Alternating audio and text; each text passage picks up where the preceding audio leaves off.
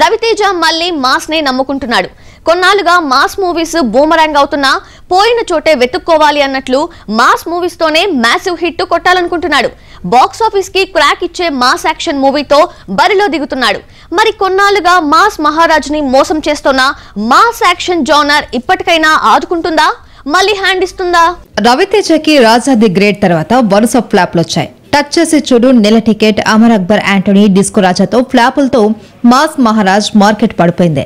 Medium range నుంచి చిన్న hero లెవెల్కి వచ్చేశాడు. అర్జెంట్గా హిట్ కొట్టకపోతే మార్కెట్ మరింత దారుణంగా మారుతుందనే కామెంట్స్ కూడా వస్తున్నాయి.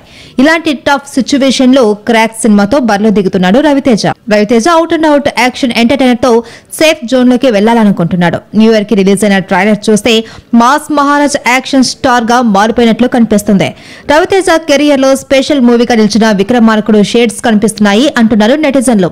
క్రాక్లో ఒక విక్రమ్ రాథోడ్ ఒక అత్తిలి సత్యబాబు కనిపిస్తున్నారనే కామెంట్స్ వస్తున్నాయి. రవితేజ మాస్ మూవీస్ తోనే సూపర్ స్టార్డమ్ తెచ్చుకున్నాడు. బీసీ సెంటర్స్ ఫాలోయింగ్తో మినిమం గ్యారంటీ హీరో అనిపించుకున్నాడు. కానీ రాజాది గ్రేట్ తర్వాత మాస్ జానర్లోనే వచ్చిన నాలుగు సినిమాలు అట్టర్ ఫ్లాప్ అయ్యాయి. రవితేజకి బ్రేకులేశాయి మరి ఇప్పుడు మాస్ యాక్షన్ జానర్లోనే వస్తున్న క్రాక్ సినిమా రవితేజకి ఎలాంటి రెస్పాన్స్ ఇస్తుంది అన్నది ఆసక్తికరంగా మారింది.